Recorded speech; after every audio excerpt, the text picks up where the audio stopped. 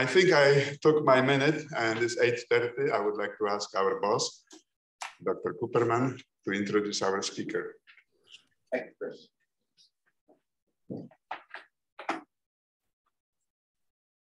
Again, welcome everybody, and particularly Michael's welcome. It's fantastic you're here. We really appreciate it. I'm glad you're all here and those that are online as well. By way of introduction, it's a pleasure to welcome Dr. Michael Chiang, the director of the National Eye Institute, to the Gavin Herbert Eye Institute. Dr. Chiang is a pediatric ophthalmologist by training and is also board certified in clinical informatics. He went to Stanford as an undergrad, getting a degree in electrical engineering and, um, and, and, biology, and then went to Harvard slash MIT. I guess there's an MIT component to it for his MD degree. He also has a master's in uh, biomedical informatics from Columbia. He completed residency and fellowship training in uh, uh, pediatric ophthalmology, residency in ophthalmology, of course, in pediatric ophthalmology fellowship at Hopkins uh, Wilmer Eye Institute. Um, he then was a faculty member at Columbia for almost 10 years and went to Portland and Oregon Health Sciences University for another 10 years before becoming the director of the NEI in November of 2020, getting on two years ago. Um, he has extensive research experience, research uh, uh, in, uh, on application of biomedical informatic methods to clinical ophthalmology in areas such as retinopathy prematurity, telehealth, artificial intelligence, and clinical information systems. Uh, he has uh, published over 200 papers and has achieved uh, a breakthrough status from the FDA uh, for an assistive artificial intelligence system for ROP. Um, and so again, it's such a great honor and privilege. We're very happy you're here. Uh, it's an honor for us to be here and appreciate your time and effort to get to know us better while we also get to know you better. So thank you so much for coming. Looking forward to hearing your presentation. Thanks so much, Michael.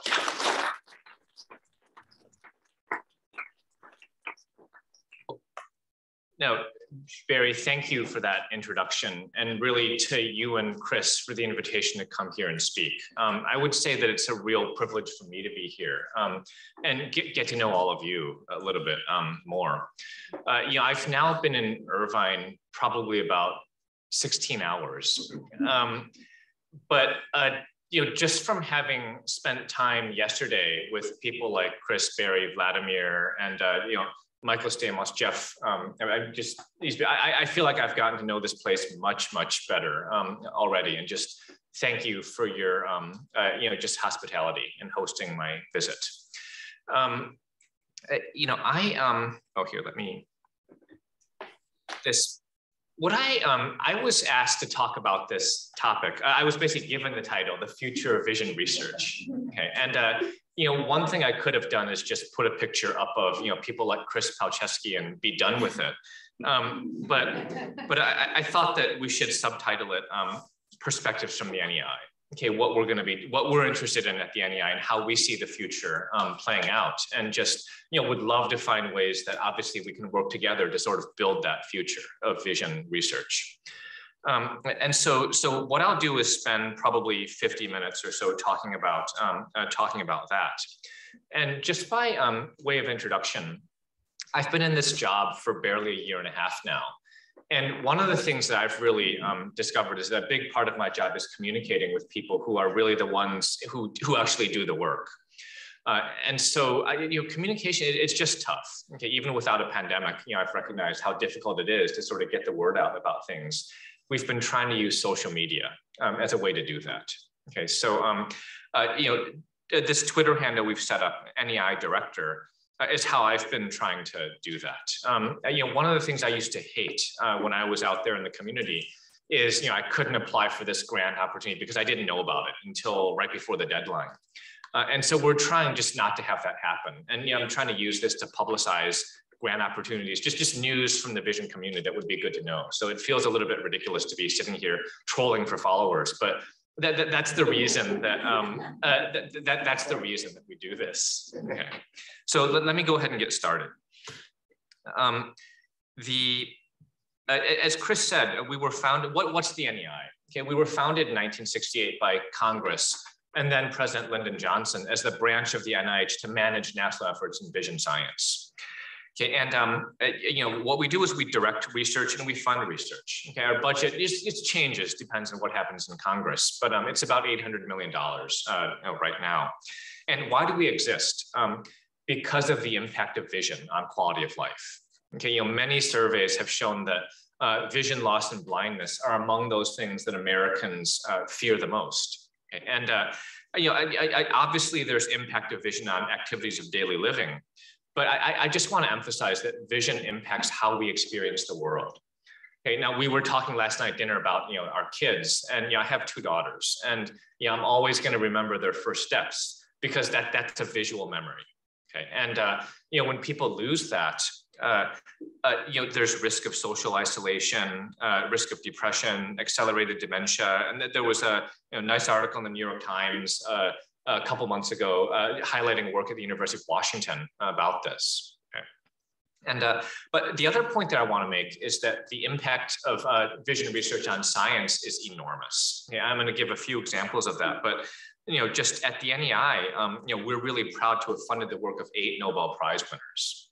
And the point that I want to make from this is that uh, uh, there are many seminal innovations that occurred first in the eye and the visual system because it's such an accessible system uh, for doing things. And so the point is that you do that work first in the visual system, and then it gets applied to other uh, diseases, other areas of science. And so that, that's something that I think is really important to keep in mind. Okay, so impact on science and impact on quality of life overall. Okay. So um, when I started about a year and a half ago, one of the first things we did is that we took a careful look at our mission statement. Okay, so every organization has a mission statement, and ours hadn't been revised since 1968. Uh, and so we um, uh, we spent months looking at this. You get all these stakeholders involved, and this is what we came up with. It, it's the bold-faced text here that our mission is to eliminate vision loss and improve quality of life through vision research. Okay, so short text uh, took six months to, to write that. Um, how do we do that? Uh, we provide leadership in these four areas. Uh, number one, we drive innovative research. We foster collaboration. Uh, we recruit, inspire, and train a talented and diverse uh, group uh, to strengthen our vision workforce. And we educate people about what we do and why it's important. Okay, now who do we educate? Um, uh, providers, scientists, policymakers, and the general public. Okay, so I'm really hoping that we can uh, be what I'd call a mission-driven organization, okay, eliminating vision loss, improving quality of life through research. Uh, so the other thing that we did is we um, uh, published a strategic plan. Okay, we do this every five years. Um, and, you know, it happens that this is our first plan since 2012. And if you go to this QR code, it takes you to that. The executive summary is like 15 pages. Okay, and uh, so in a nutshell, the way that this is organized is that there are seven uh, what we call cross-cutting areas of emphasis. Okay, genetics, neuroscience, immunology, regenerative medicine, data science, quality of life, and public health and disparities. And uh, that's what the plan is organized around. Uh, now, those of you, many of you know NEI very well. And uh, you know that our portfolio is organized uh, anatomically, right? It's retina, cornea, lens, glaucoma, optic neuropathy, et cetera.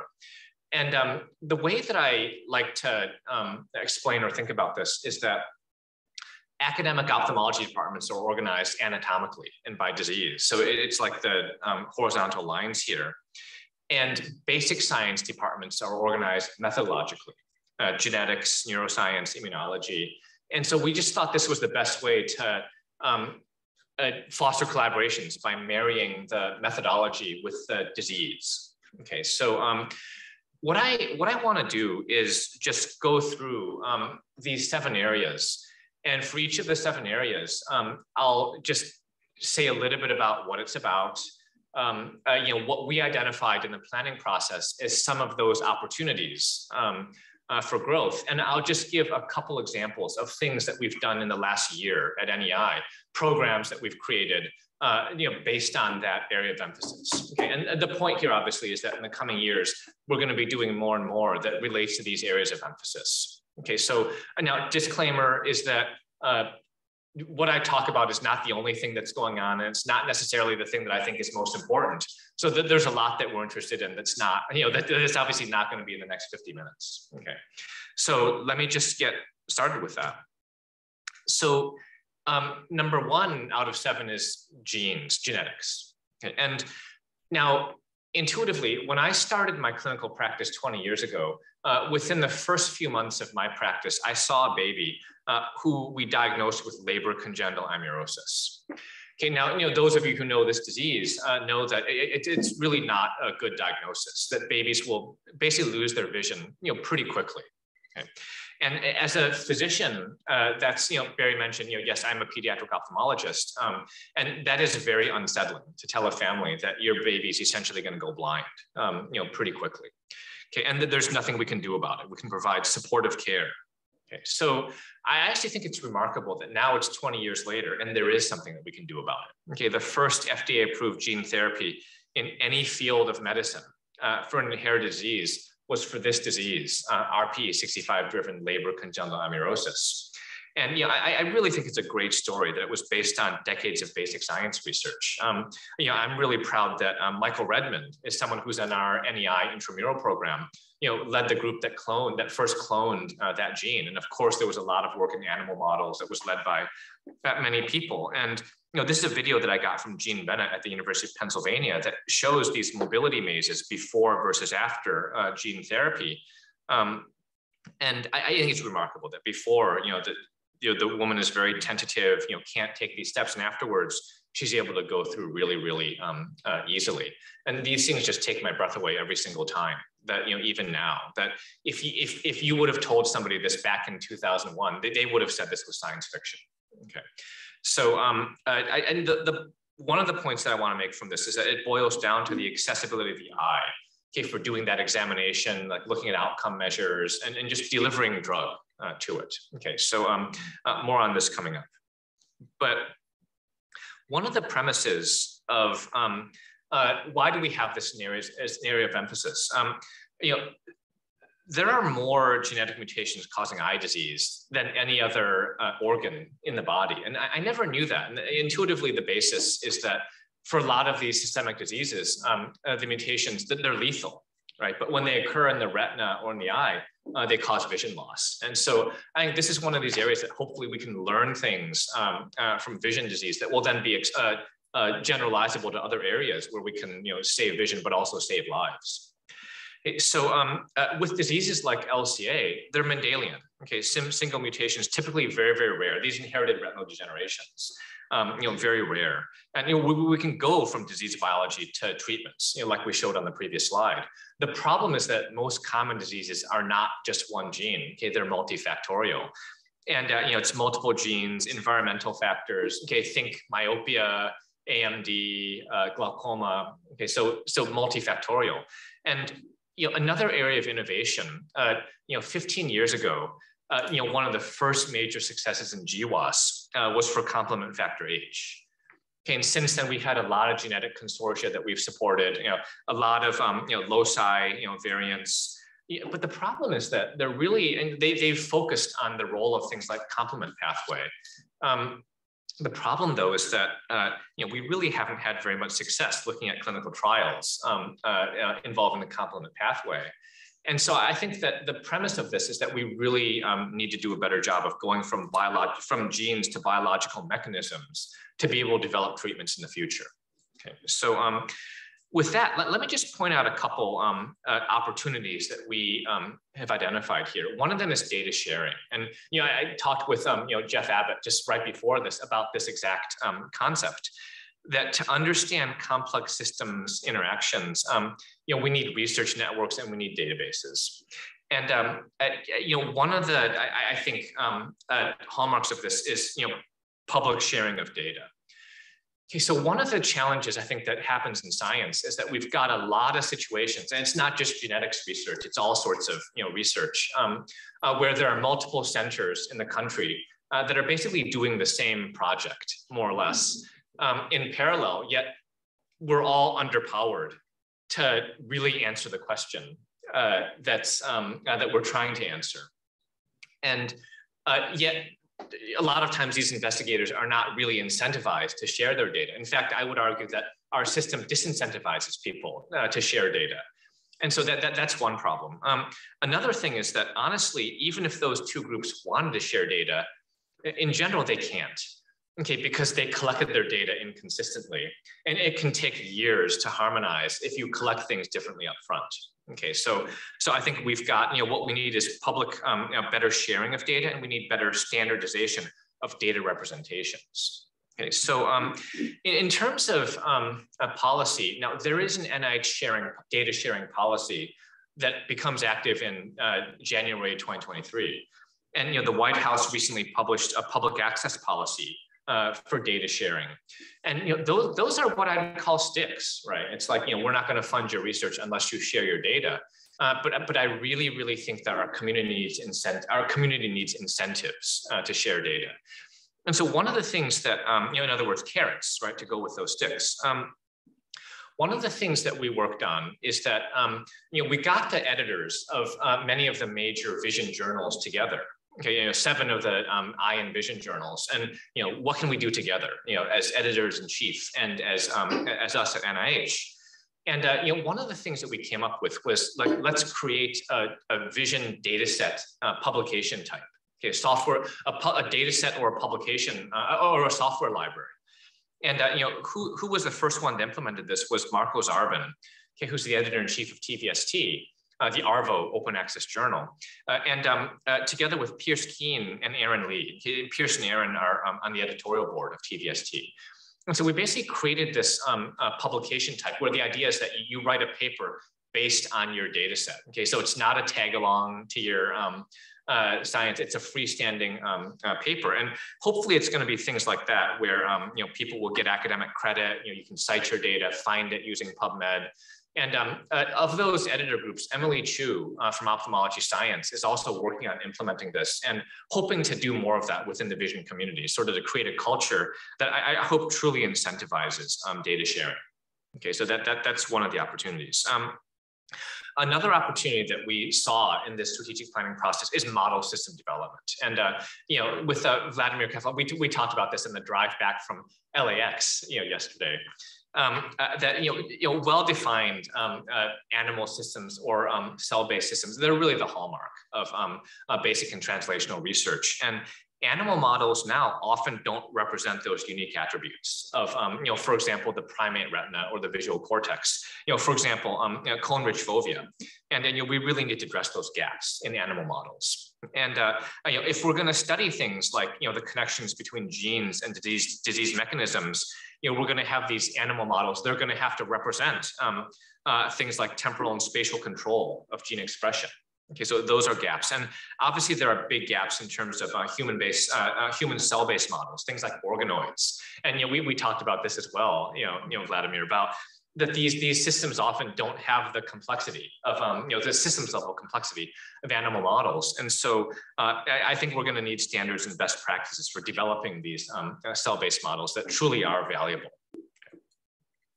and uh, you know one of the so here's an example of a program that we're working on now uh, gene therapy uh, so uh, the foundation of the NIH, um, the FNIH, has um, uh, sponsored a public-private partnership. Who's involved? Um, uh, the FDA, uh, industry, and also multiple institutes at the NIH, you know, of which we're one.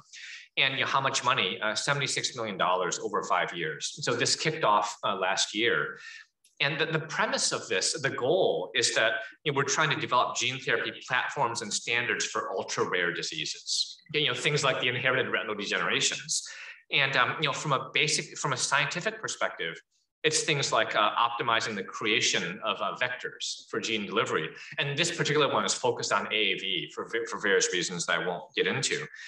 And um, uh, from a trial uh, perspective, um, uh, the goals of this are to standardize vector generation, to harmonize manufacturing practices, and also just to streamline regulatory pathways um, for FDA approval. And the point of this that Peter Marks from the FDA was really involved uh, with creating this.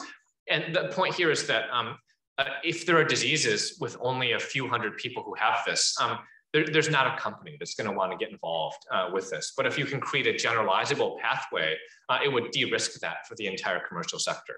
Okay, so um, you know, why is this re relevant to the vision field? Obviously, it's because there's so many genetic eye diseases and so much work in gene therapy already.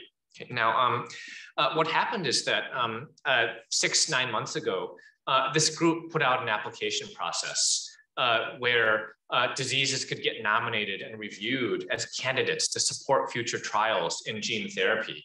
And one thing that I was really proud of is that our community really responded to that RFP.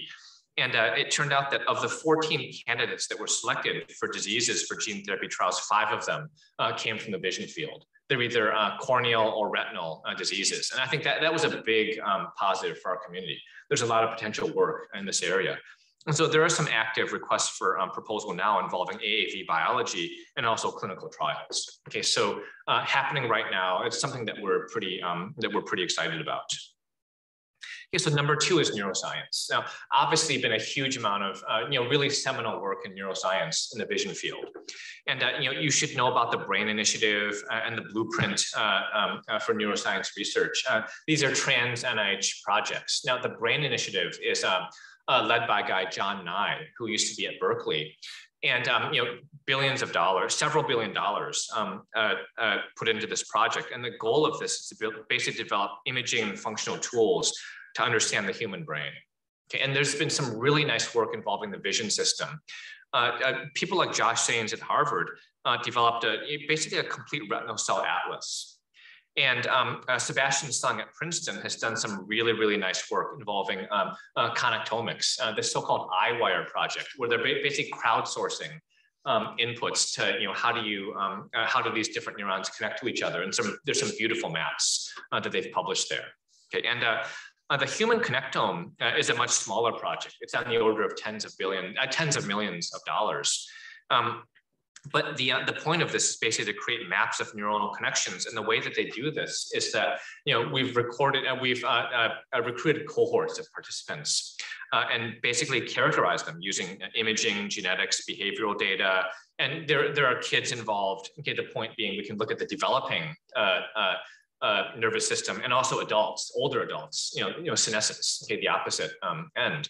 And you know, within the vision field, uh, there's one cohort um, uh, of patients with central vision loss and one cohort of people cohort of people with low vision. And I think those groups were in Alabama and uh, you know one was in um, uh, uh, Los Angeles okay, that did this work. So really, really nice work. Um, but you know, some of the opportunities I think here are relatively obvious. Um, uh, visual processing. Uh, this is an area where we have beautiful data, um, beautiful methodologies, uh, imaging data, um, brain atlas data. I got this um, uh, uh, from David Huang and Yali Jia, uh, who I used to work with um, in Oregon, OCT um, angiography. And um, physiology data, physiologic computational methods. And the, the point of this, I think, is pretty obvious that if we want to restore vision, uh, we have to understand um, uh, retinal information processing and uh, cortical information processing. Um, and uh, you know, some of that's going to come from theoretical models and computational models, and some of it's going to come from analytical uh, validation using these tools. Okay, but I think that there's a lot of gaps in knowledge now that we have involving, okay, what are the subtypes of neurons? Uh, what are the computational roles of different parts of the um, uh, vision pathway? And one really big area is uh, that's emerging now is what are the role of glial cells? Okay, and you know, non-neuronal cells. Okay, so I think this is hotter than I've ever seen it. Okay, so a lot of um, uh, uh, promise in these areas. Now, plasticity is another thing that we've gotten really interested in. Uh, and uh, you know, what's plasticity? The ability of neurons to reconnect uh, after injury. Uh, you know, uh, babies and young children are obviously really good at that. Okay, that's the basis of learning. And you know, adults, you know, not always so good. Um, and so amblyopia is one thing that I, I saw a lot of as a pediatric ophthalmologist. And you know, we really don't do a very good job of treating amblyopia in 2022 and uh, there really hasn't been much, uh, you know, there really hasn't been any, uh, you know, major advance in how we treat this. And so it's my hope that through understanding uh, visual circuitry, you know, maybe we can develop better treatments for disease like this um, that are based on plasticity mechanisms. Okay. So, um, you know, one program that I just want to highlight in this involves ocular pain. Okay, uh, Houmam Araj is a program officer um, at the NEI who some of you may know, and he was the one who spearheaded this. It's part of what we're calling the anterior segment initiative, you know, just to develop some programs involving the front of the eye and you know, give that a little bit of um, uh, special attention. But um, uh, the gap in knowledge here is that um, you know, we don't really understand a lot of those pathways um, that contribute to things like ocular surface pain, uh, dry eye pain, uh, photophobia. And yeah, I know that there are some folks here who do some really nice work uh, in dry eye. And um, uh, you know, so you know, the programs that we're hoping to inspire here are going to be, okay, what are the neuronal cell types, and what are, you know, for example, the cell-cell interactions that are involved in the pathways that cause um, things like this. And so, so what we want to do is contribute up, contribute up to $5 million for projects in, uh, in within this year in this area. Okay. So uh, number three is immunology. And I know we've got a couple world experts um, you know, here in uh, ocular immunology and uh, uveitis. And um, so you know, all of you um, know that historically, you know, the eye, we've always thought of this as an immune privileged um, uh, organ. And you know, that's the basis, you know, why was corneal transplantation successful you know, decades before other um, transplantations? And um, you know, but despite that, it's really becoming more and more clear that the eye uh, has its own specialized immune system. And you know, those pathways have become more and more, um, uh, you know, there's been more and more understood that it's not just um, uh, inflammatory diseases and uveitis or viral infections. Um, but it's also uh, neurodegenerative diseases of the eye, diabetic retinopathy, AMD, glaucoma, you know, where these pathways have really been implicated. Okay, so really, uh, you know, it's never been so clear to me that, you know, to really understand ocular physiology and disease, you really have to understand immunology. Okay. And um, uh, so what are some of the opportunities here? Uh, number one, uh, immune homeostasis. Okay, it really got onto my radar screen uh, that uh, there's upper regulation and down regulation, and we really need to better understand these regulatory mechanisms that support um, normal function and disease. And um, you know, we need better disease models. Okay, I think our disease models now are much better at acute disease than chronic disease. And, and they're much better at sort of the positive factors than the negative factors involving disease. And you know, I actually don't know that we have very good disease models for immunosenescence. Okay. Uh, so those are a couple of the uh, things. Now, in terms of therapies, now obviously Barry Kuppermann's a world expert in terms of uh, uveitis and uh, trials for this, but um, you know, are there better steroid agents, steroid-sparing agents that um, uh, that we should be developing? And that that really gets into this whole data sharing thing. That these are these are um, by nature rare diseases, and I, I don't think it's going to be possible to do this without a strong clinical trials infrastructure for validation. Uh, so one, one of the other opportunities that we identified was the microbiome. Okay, now those of you who know about this um, know that uh, uh, within um, uh, the gut microbiome uh, 10 years ago started to become really hot. Okay, there was good evidence that it was implicated for diseases like uveitis, but also more recently um, AMD and glaucoma. Okay. And um, you know, one of the things that came up as we looked into our strategic planning process was that you know, we really don't know very much about the ocular surface microbiome. Okay, so there's a lot of gaps in knowledge, uh, not only with um, uh, gut microbiome, but also with um, you know ocular surface microbiome. What's normal? Okay, what can go wrong, and you know how does it relate to disease pathogenesis? Okay, so so some of what's going on in um, uh, immunology now is um, along the eyes of along the lines of this anterior segment initiative, we have a notice of special interest involving biomarkers for dry eye disease. Okay, those of you who are clinicians will know that uh, there's signs and there's symptoms. And in dry eye disease, uh, you often see patients who bitterly complain of things, yet when you look at their ocular surface, it really doesn't look that, uh, really doesn't look that bad. And so the point of this um, uh, NOSI is that we're trying to really um, uh, uh, support, you know, we're really trying to uh, encourage research looking at better biomarker-based methods to diagnose eye disease because there's really not a good standard right now. And uh, one of the other things that we've done over the past year um, is uh, we've had a series of workshops. Okay, uh, one of them was in May of last year um, that was hosted by Reza Dana um, at Harvard and Nita Shen, who's at um, uh, Johnson Johnson, um, about anterior segment inflammation. And uh, uh, in August 2021, uh, Russ Van Gelder at, um, uh, at, Washington and Karen Nelson from Thermo Fisher Scientific uh, hosted a workshop uh, involving uh, basically the ocular surface microbiome and the methodological um, uh, uh, research. And, um, you know, out of, um, out of that so far has come out um, a a, a, U24 um, uh, RFP that was basically um, a characterization of the ocular surface microbiome. Okay, the deadline for that was just a couple months ago, and um, so we're starting to you know look at that now. Okay, so those are some of the things that we're um, uh, that we're excited about, and uh, you know from our from our shop, uh, Lisa Neuhold and Maryann Redford were the people who helped organize this. If you're interested in that, so those are the contact people at NEI. Okay, so um, number four is uh, one that you know, I, I, feel a little bit ridiculous standing up here talking about because you know we've got some of the world experts here um, in regenerative medicine. Um, but let me just sort of back up uh, and say that there's a whole area of um, methodologies uh, uh, that I think is really promising. Like how do we how do we reestablish normal function? Okay, when neuron when neurons die, how do we restore them and reconnect uh, those pathways? Now, you know, I, I, don't know if the winner is going to be gene therapy, gene editing, cell reprogramming, you know, cell-based therapies, but uh, Paul Sieving, who was my predecessor, you know, really pushed uh, the Audacious Goals initiative, and we're really trying to continue uh, with that. Where the uh, AGI Audacious Goals started in about 2013, and the goal of this was to develop methods to regenerate neurons and neural connections specifically involving photoreceptors and ganglion cells. Okay, so they really focus on diseases like um, inherited retinal degenerations and AMD. Okay, and uh, the way that this worked was that uh, we funded a series of collaborative teams, and uh, it's it's about eighty million dollars total. Um, and there were three teams. Um, there were three groups of collaborative teams. Uh, one of them, which Chris pay, played an enormous role in, was functional imaging. And uh, the goal here was, you know, if we're going to reconnect um, neurons, we have to be able to visualize them. Okay, so it was adaptive optics, you know, things like two photon imaging, you know, you know, really brilliant um, work. And uh, uh, the second set of consortia was regenerative factors. Uh, so the question is, well, you know, how do we know what the factors are that are going to help neurons rewire? And you know, can we identify those chemical factors? So that was a set of consortia.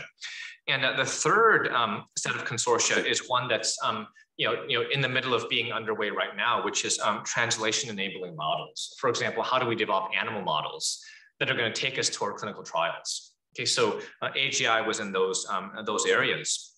And um, one of the opportunities that we're really excited about is um, uh, cell replacement. Okay, and uh, something that I'm really proud of is uh, Kapil Bharti, uh, who some of you know, is one of the NEI uh, intramural investigators and he's done some beautiful work um, in cell replacement over the past um, 10 years, where what they've done is um, uh, taken um, uh, blood cells, isolate um, uh, induced pluripotent stem cells, and use them to grow um, uh, retinal pigment epithelium cells. And they've developed methods to grow those cells on scaffolds. and the point is that these scaffolds uh, dissolve, and then you transplant them underneath the retina of uh, pigs or um, about a month ago, the first in-human um, surgery was done. And uh, it was the, the surgeons were Amir Kashani from Johns Hopkins and Shilpa Kodati from NEI. And uh, uh, that was just a safety um, uh, study, but you know, so far it's been, it, it, it, you know, we're really excited about how things are going with that. Okay, so I, I think there's going to be a lot of work that comes out of this. Uh, but you know, what are we going to need? Um, uh, good manufacturing practices uh, for managing cells, uh, quality control, automation. Uh, you know, from a methodological perspective, you know, how do we tell whether these um, transplants really worked? Uh, did they rewire? Um, did the ganglion cells rewire to the brain? You know, how do you prevent disease from recurring? So it's, it's a lot of um, questions, and it's obviously it's not just about the um, uh, retina. There's some beautiful work involving um, cell-based therapies in the cornea. Okay, so. Um, uh, you know, another thing that we've gotten really excited about is other methodologies. Okay, extracellular vesicles, um, uh, uh, immune, uh, you know, gene editing, and you know, Chris, I think I, have been amazed by some of the work that his group has done involving gene editing. Um, and you know, what are the gaps in knowledge here? Well, I think there's a lot of questions involving safety and precision. And there's been some beautiful work done by you know many group, uh, you know, the Blackshaw group at Johns Hopkins involving cellular reprogramming. Uh, and so I, I, don't know which of these is going to be the methodologies that you know are the ones that really um, uh, are most promising toward curing disease. But regardless of what they are, I, I, think that one area that we've really identified as a gap in knowledge is the immune response. uh, uh, you know, how do we modulate that? And, you know, are there areas where the immune response is going to end up um, uh, interfering with the results of this? And so that, that's something that, um, uh, well, let me just let me just talk about some new programs that are going on now, and that this will this will come out. Um, so one thing that we've done in the past year is we've um, uh, put out what we call the Integrative Biology Initiative okay, regarding uh, regenerative medicine. Uh, so the, the, premise of this is that um, uh, there was a um, multi-center trial, the AREDS uh, 2 study that was led by Emily Chew and Rick Ferris. Uh, it's gone on for, you know, it, it's a decades old um, study, but it studied AMD. And so because of that, we've got a lot of data involving these patients. And there were 65 of these patients in particular uh, that we phenotyped really, really carefully. Uh, now we work with the New York Stem Cell Foundation to generate induced pluripotent stem cell lines from those patients. And uh, you know, because those patients were AREDS clinical trial patients, there's very rich clinical data. You know, we've done whole genome sequencing, uh, and uh, you know, there's very rich imaging data on those patients, uh, fundus photography and OCT data. And uh, we've also, in addition to generating those um, iPSC lines, um, uh, generated isogenic controls with those risk alleles corrected. Okay, so the point of this um, integrative biology initiative is uh, that people would write grants and get access to those data. And hopefully that'll be a paradigm to learn things about physiology and pathogenesis um, from those. And so we issued it once and uh, you know, we're probably going to issue it once more. Okay, if this is an area that you're interested in, I just want you to know that those data are, are going to be available. And uh, you know, there's a 3D retinal, retinal organoid challenge in the spirit of animal, in the spirit of disease models. Uh, and it went through three phases, and we just finished the third phase uh, now. And some really nice work by um, uh, folks at the University of Colorado, uh, Van, Val Canto-Soler and um, Natalia Vergara, uh, and also at Einstein, okay, Wei Liu. those were the winners of this um, organoid challenge. And um, in terms of audacious goals, um, uh, we hosted a transplant immunology workshop. Okay, what can we do to be um, uh, stimulating research involving modulating the immune system, regardless of what type of um, regenerative medicine approaches you're using? And so that was just about a month ago. And uh, Tom Greenwell and Amber Reed were the ones from NEI who organized that. It's going to take us a while to um, uh, synthesize everything from that. But so hopefully more coming out about that relatively soon. Okay, so that's uh, that that's regenerative medicine. And um, so area five out of seven is data science. And uh, you know, sometimes I, have been introducing this um, with this question, uh, what is the one tool that every single scientist and clinician uses uh, in this country? And you know, if you're a clinician, people will say, well, maybe it's a stethoscope, maybe it's an ophthalmoscope. Um, but you know, there are actually uh, enough ophthalmologists who don't use ophthalmoscopes. Okay, and uh, you know, I would argue that the one tool is a computer and computing devices. Okay, and, and so um, so one of the hallmarks of 21st century science is what I'd call unprecedented access to large scale data. Um, and one of the things I think is a real strength of the vision field is that you know, regardless of what type of data you deal with, um, biological data, in other words, genetic data, omics data, uh, imaging data. There's a ton of imaging data in, um, uh, in vision science, um, uh, clinical data from electronic health records or population-based data. Um, uh, you know, there aren't that many fields in any area of science or medicine where there's such easy access to that whole spectrum. Okay, regardless of whether you're studying um, uh, molecular processes or uh, up to populations. So it's this common set of data science methodologies. Okay, so real strength of the vision field to span that whole spectrum. Um, now, um, one of the innovations in this area is artificial intelligence. And I, I have to just promote this a little bit that um, uh, about two years ago, I captured this tweet from Eric Topol. Um, of all the medical specialties, uh, most people think radiology is leading the artificial intelligence movement, but it's actually ophthalmology so far. Okay, and uh, the reason for that is that we've got so much data in the form of images, and clinical outcomes data, okay, structured. And so that, that that's a perfect setup for doing AI um, work. Okay, and uh, so you know, some of you know that the first FDA-approved uh, autonomous artificial intelligence system in any field of medicine was for diabetic retinopathy. Okay, it was Michael Abramoff at the University of Iowa. And, uh, and the folks at Google uh, uh, have done some beautiful work involving knowledge discovery. And uh, you know, for those of you who don't know, uh, they were able to train these deep learning systems to um, analyze retinal photographs. And purely from the photograph, uh, with almost 100% accuracy, to tell whether that photograph came from a male patient or a female patient. Okay? And to, to clinicians, that was unbelievable when this was published four years ago, because there's no way that any of us can look at a patient's retina and tell, okay, was that patient male or female? But presumably there's some data encoded in the pixels that confers gender. Okay, and so, so the promise here, of course, maybe, maybe someday we can take advantage of that from a knowledge discovery perspective. Okay, so, so major advances here. And um, so one of the programs that we're really interested in is what I'll call uh, image standards. So huge amounts of data that comes um, in the vision field and data come from uh, machines like this. They generate pictures and they generate numbers, right? And uh, the problem is that um, a lot of these data are locked in proprietary standards. And so you can't get access to those data as a researcher or as a clinician. Okay, now just intuitively, uh, a couple anecdotes from my own um, life are that um, as a clinician, I used to work in a department where we had two image management systems that collected images because each one couldn't interface with all the devices that generate those images.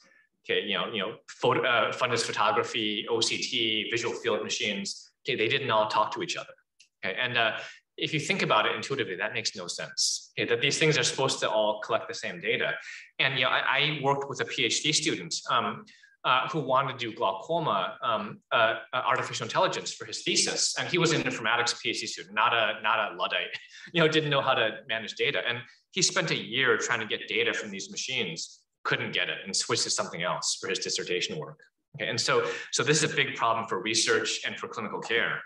And um, you know, I've been sort of um, uh, trying to tackle this for about 15 years, and you know, we've really gotten nowhere uh, with this. So um, in May of 2022, um, uh, we hosted a workshop. Uh, and who really um, organized this? Kerry Goetz from the NEI and Aaron Lee from the University of Washington, um, uh, who also is closely tied with the American Academy of Ophthalmology.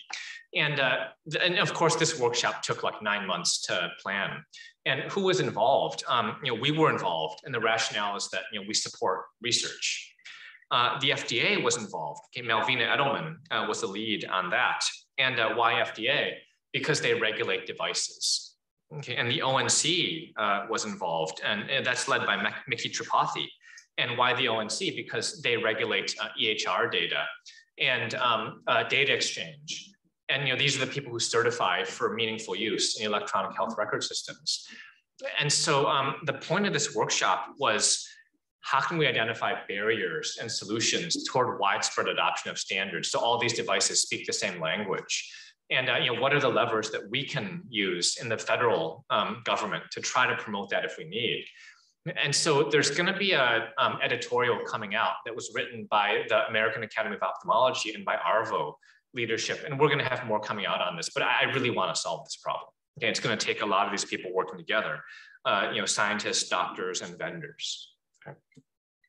And uh, another uh, program that I, another couple programs I want to let you know about are um, uh, programs involving artificial intelligence. Okay, uh, Bridge to AI is a trans NIH uh, so-called Common Fund project. Okay, it involves all the different um, NIH institutes. And um, uh, the way that common fund proposals work is that they, they're led by a certain number of um, institutes. And you know, we were one, one of the five leads for this um, uh, project. And um, the, the premise of Bridge to AI is to build large data sets from multiple sources. So they would span images, clinical data, omics data, you know, patient generated wearable data, um, and it's over $130 million over four years uh, that we've uh, committed to this. And um, the, the, traditionally, the, the, the thing that's different about this is that traditionally NIH funded research is hypothesis driven, right? But in this case, we're spending $130 million for hypothesis generating data. It's basically building data sets uh, that are um, uh, good AI ready that span different disciplines. And hopefully this is something that the community is going to benefit from for years afterwards. Okay, so, so really, really different paradigm. And we're really trying to inject some of that into, um, into NIH. Okay, so uh, just announced a couple days ago that there were four data generation sites um, uh, awarded, and one of them was led by an ophthalmology group. Okay, this is uh, Cecilia Lee and Aaron Lee at the University of Washington who are studying diabetes. Um, and so that, that's something that we're obviously excited about because I think it just, um, and there, there's some other really, really neat work, uh, you know, acoustics, you know, diagnosing disease from, um, you know, your voice and some of these other um, projects. But, you know, look into this if you're, um, if you're interested. And uh, another thing that I want to tell you about is AIM Ahead. Okay, so um, AIM Ahead is a trans NIH project that was led by the um, NIH Office of Data Science Strategy, and the head of that is Susan Gregurick, who's wonderful.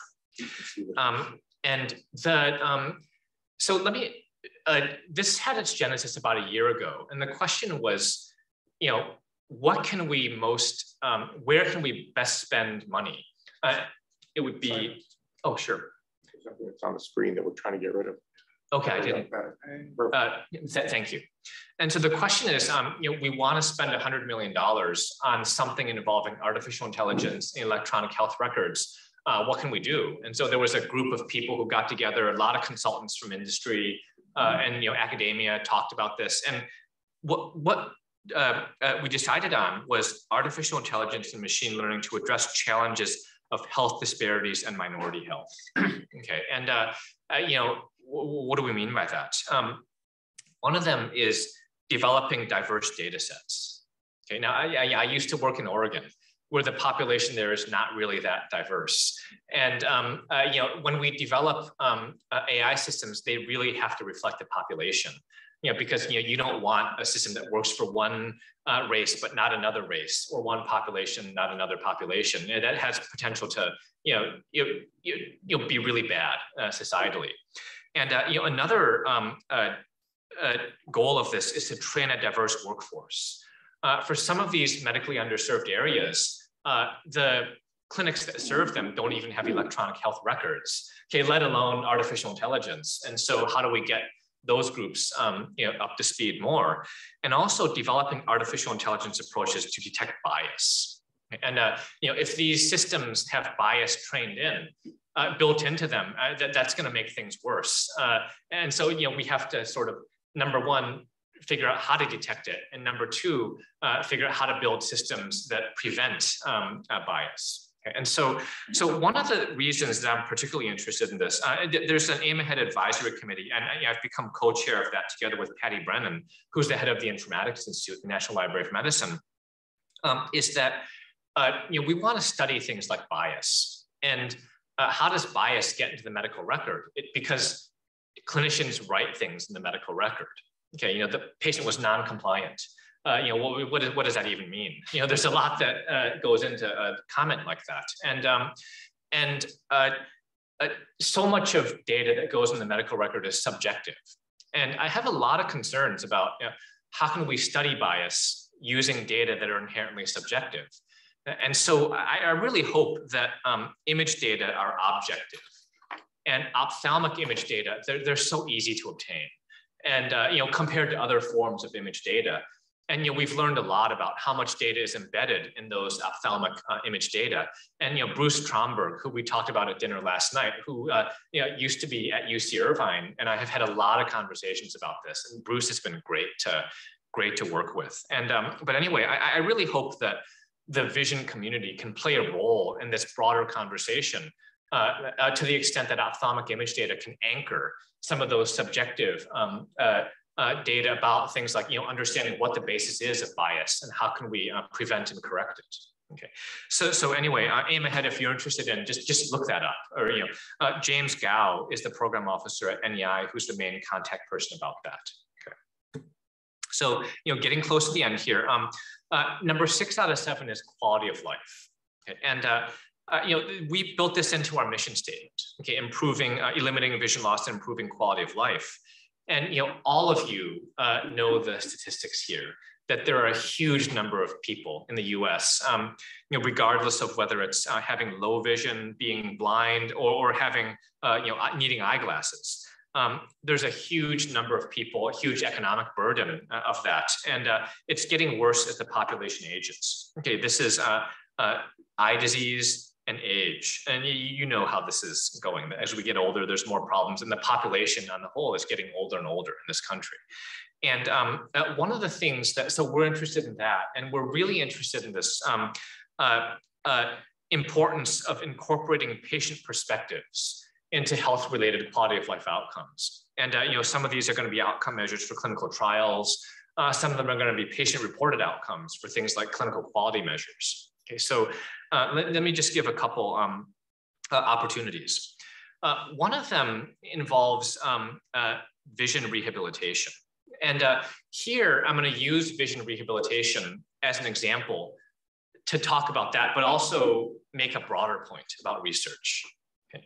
Um, so when I was growing up, uh, when we took care of patients who okay, there's no treatment for your disease. You, know, you have something like uh, you know uh, inherited retinal degeneration, where in 2005 there was no medicine or no gene therapy or you know gene-based editing that people could do.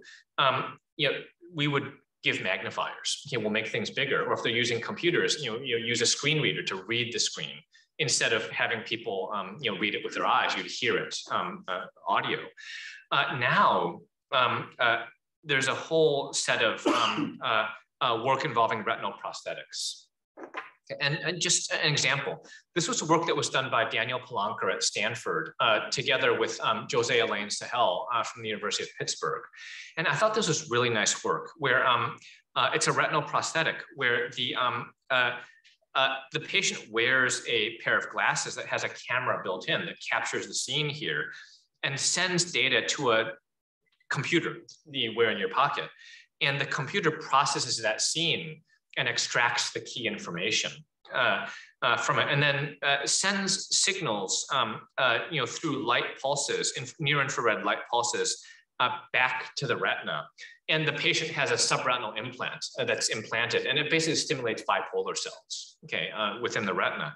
And they've actually had great results in terms of outcomes. Um, uh, of that, uh, visual outcomes from these patients. But the point that I want to make from this, number one, is that there are emerging uh, approaches to vision rehabilitation. But number two, um, if you look at what went into developing this technology, uh, there were advances in semiconductor physics. Uh, for example, photodiodes, uh, device fabrication. Uh, there were advances in wearable electronics, um, and neural engineering and psychophysics. Um, and what fascinated me is that uh, there were Stanford PhD students who were writing their theses on technologies that went into this product. Okay, and then there were Stanford uh, junior faculty that were getting tenured uh, for for uh, doing that work. And you know, in terms of collaboration, uh, you know, I, I think I see so much collaboration where you've got a doctor and a scientist, and the doctor is looking for collaboration that's not methodologically novel for the scientist or the engineer or whoever it is. It's something that's off the shelf. And I don't think we're always going to get the best methodologists. Okay, the best scientists are not going to want to do off the shelf work, you know, in the eye. They're going to want to do something that's methodologically innovative. Okay, and uh, and I thought this was a great, great example of that. And um, you know, at dinner last night, um, uh, you know, we had um, uh, you know, you know, I was talking with Chris Palczewski, and you know, he was talking about uh, you know methodological work that Chang Lu and you know Kirian, others in bioengineering were doing that I thought was just as methodologically innovative. That's now going into these gene editing systems that we're implementing. I thought that's a great example, and I think that those of you in Irvine are an amazing institution where uh, you're right next to the university uh, you've got a world-class university and a world-class eye group here. And I, I, think that there's a lot of room for innovation in areas like this that I'm really excited to be able to follow from this group. Okay, so that, that's the point that I want to make um, uh, from this slide.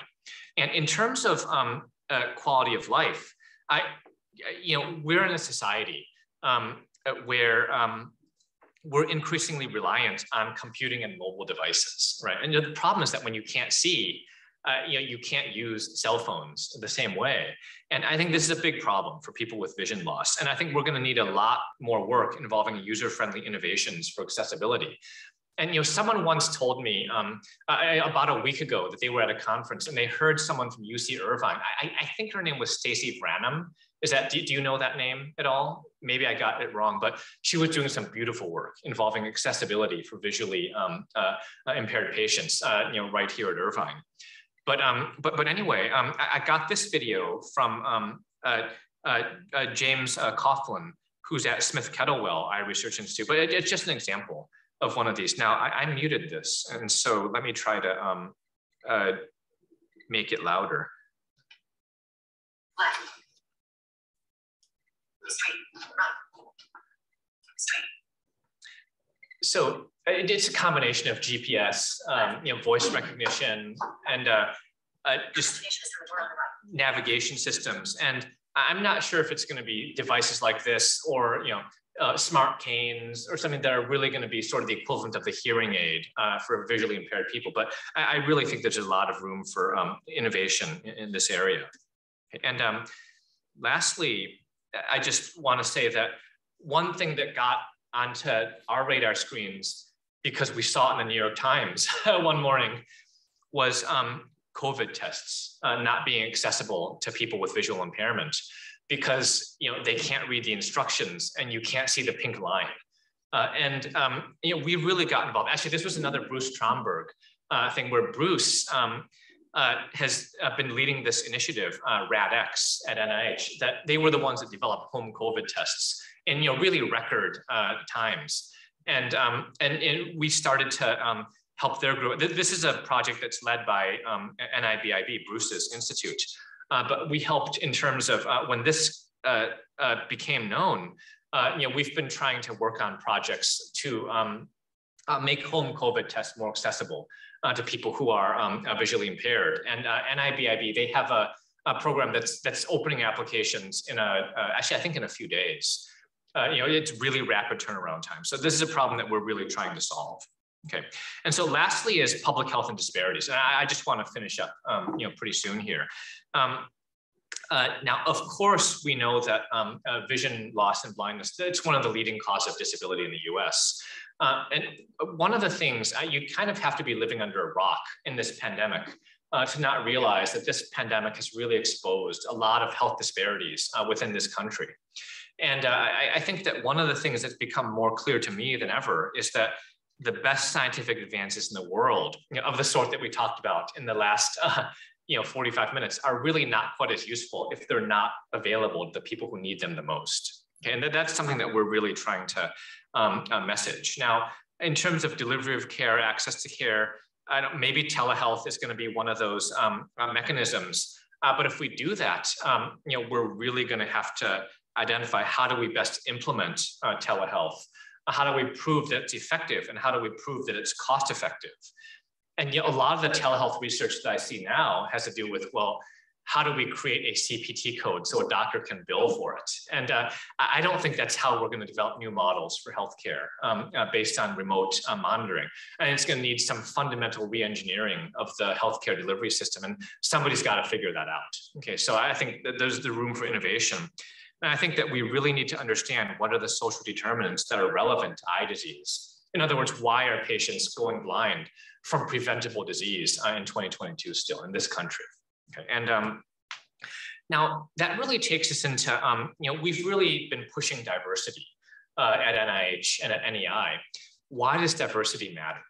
Um, and now, one of the, I think to clinicians, there's some intuition that if you're taking care of patients, that it, there's some benefit of having healthcare providers that match the demographics of the patients who we're taking care of.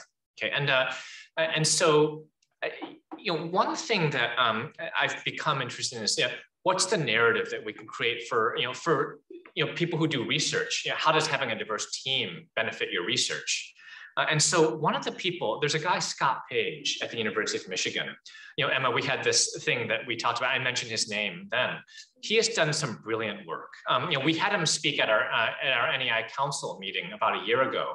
And if you don't know his name, uh, and if you're interested in this area, look, look it up. There's some videos and a book that he's written that are, that are fabulous. And so um, the, the message that I want to impart is that I think all of us have the um, uh, intuition that there are benefits of interdisciplinary research. Uh, if you work with a scientist, engineer, a basic scientist, social scientist, engineer, and if you're a doctor, that you have out of the box thinking when you work with people who have different academic backgrounds, right? That, that's kind of obvious. Um, uh, the point here in terms of diversity of humans is that uh, oh, sorry. Um, there's really, really good evidence that teams with different kinds of thinkers outperform homogeneous groups. In other words, when you get a group of scientists who all went to the same school or all sat in the same lecture, um, that, that, that's not a good recipe for out of the box thinking. Okay, because you all kind of think the same way. Uh, and there was some fascinating examples um, uh, that Scott Page quoted that if you're designing buildings, for example, and if, you know, Emma, this was the example that we had an email exchange afterwards and you highlighted this, and so I'm gonna repeat it, um, that if you um, uh, have a uh, group of people who are designing a building, and if one of the people on the team is visually impaired, the presence of that person on the team, even if they don't say anything, affects the way the team thinks about building design. Well, maybe we should design it this way, or you know, you're not going to be able to navigate this that well if you can't see. Okay, and you know, we actually came across some great examples of you know, you know, eye drop design, things like that, from having people from different racial backgrounds, different populations, and so that's what we've really been trying to message. You know, you, you would do better science if you have diversity on your team, and um, uh, that's something that I don't think we can solve on our own. That at NEI we need to work with the entire community. That's going to be academia, industry, the other professional organizations, because I think this is something that we're going to have to, there's good evidence that in vision science, um, we're not as diverse as some areas of science. And in clinical ophthalmology and optometry, we're not as diverse as some other medical specialties. So, um, you know, what have we been doing? Um, uh, well, at the NEI, um, uh, Ashley Fortress, who some of you know, uh, from the um, scientific review process, Brian Hoshaw, and Kathy Anderson have really put together a clinician scientist reviewer program where we're trying to increase the pool of young clinician scientists. Now, why clinician scientists? We, we had to tackle something.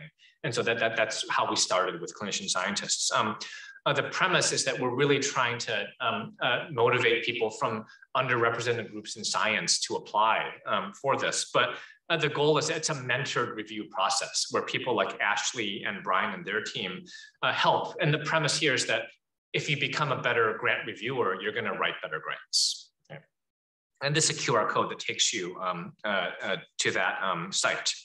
And um, uh, you know, our communications people, um, uh, uh, Maria Zacharias and Davina Fan uh, put together a program called Eye on the Future this past year that was a high school video contest.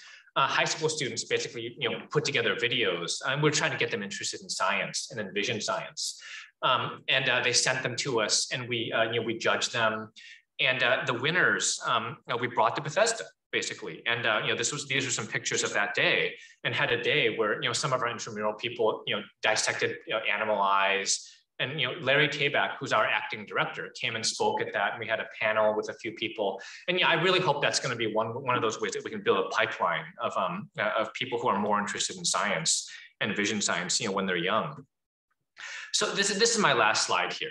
Uh, so how would I try to put this together and what, I, what do I see as the future uh, of ophthalmology? Uh, one of them, I think it's really important to appreciate that, you know, in this field, we do work that matters. Okay, uh, you know, from a science perspective and from a, uh, you know quality of life perspective, uh, I really think there's transformative impact. you know what we do here. And you know, I, I, think it's it's my hope that we can stimulate interdisciplinary collaboration, and that, that's why I love what's going on at this um, at this university. And um, you know, I think that ophthalmology departments are often isolated.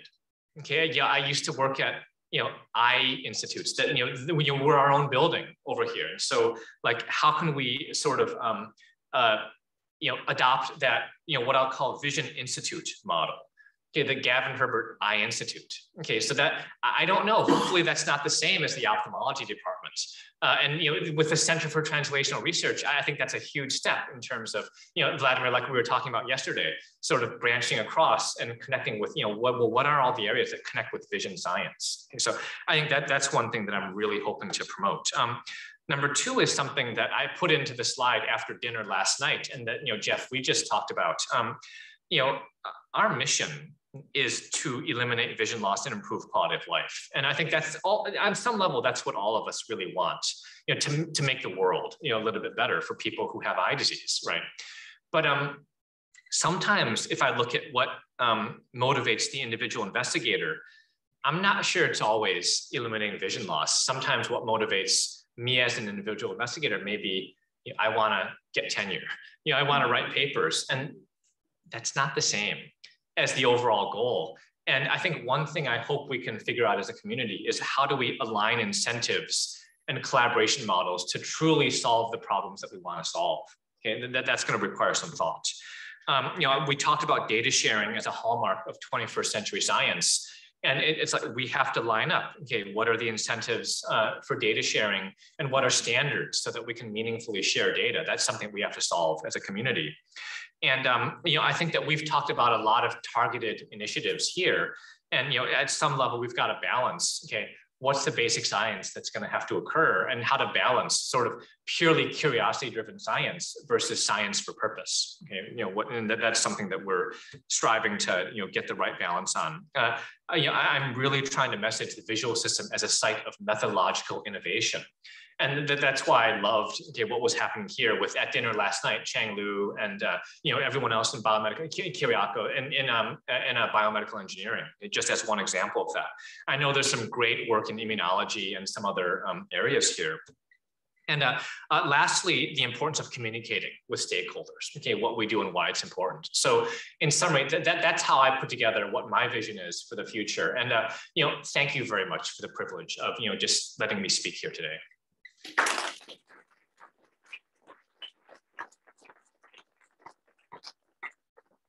It was uh, really truly fantastic. Uh, so as uh, to organize today event, after uh, questions, we will have a four presentation, very short.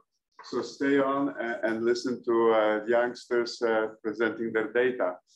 But with questions from the web, let's start with David Liu. Are you there? David Lee?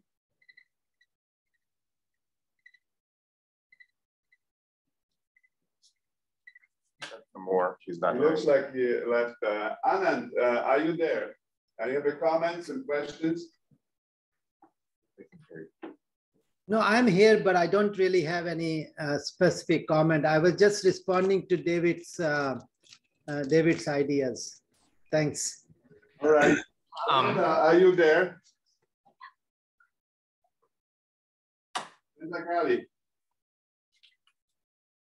Yes, I'm here. Yes, I am here. Yes. Any comments, questions? Thank you. That, well, that was absolutely beautiful talk with with, but you're missing one key stakeholder throughout, I think, although maybe I missed it, and that's the patient. At um, Sick Kids, we have a patient who is a patient in research, a full active member of our team. Um, Brenda, it's great to hear you. And um, thank you for that comment. Uh, let me just sort of comment on that. It, that's a great point. Um, three months ago, I went to a conference in Boston that was sponsored by the Perkins uh, School for the Blind. And um, I commented when I was, and the audience there was mostly patients and families and sort of patient advocates. And I commented when I made my remarks that for having worked for 20 years, that was the first meeting that I'd ever been at that was predominantly a patient meeting. And I thought, isn't that wrong? You know, that I've been doing this for 20 years. And so I think that's exactly the point that you're trying to make. And um, Brenda, the reason that I was there was that the purpose of that meeting is that we've gotten interested. One thing I didn't talk about here was cerebral visual impairment. And that got onto our uh, radar screen as something that's important. And there's a lot of things that we learned about that precisely that came from families. Uh, and so, so I, I, really couldn't agree more. And I, I, appreciate your pointing that out. Um, you know, just one quickie, um, Anand, nice to hear your voice. And it's good that the world has gotten smaller to see people, you know, from back in Bethesda, even though I'm out in Oregon, uh, out in um, Irvine. Well, they very frequent in our meetings, including yeah. uh, Dr. Agarwal. Yep. All right, Dorota. Um, Chan, that was fantastic overview and comprehensive, thoughtful. I really enjoyed it. And I love the great push for collaborative research. I think this is very important also in the field of uh, working on understanding the mechanism of the diseases. So actually I have a question. Um, are there plans for cross NIH initiatives uh, to understand the mechanism? So for example, common RFAs with NIDDK for diabetic retinopathy or uh, for even more relevant for all visual fields with um, uh, Institute of Aging. Um, so I think we miss it. I think this is collaboration within only our field. It's exactly what you just said, rather than insti cross institute than just uh, within the institute. Um, thank you for making that point. So cross institute collaborations. Um, I'm going to give a two part answer to that. Um, one of them is that there are mechanisms for doing that already because there's no reason that we can't um, you know, collaborate and come up with a joint RFA on something. Now, from the reaction on your face, and I purposely said that to elicit a reaction because the premise of your question is that we don't do that already in a way that's satisfactory.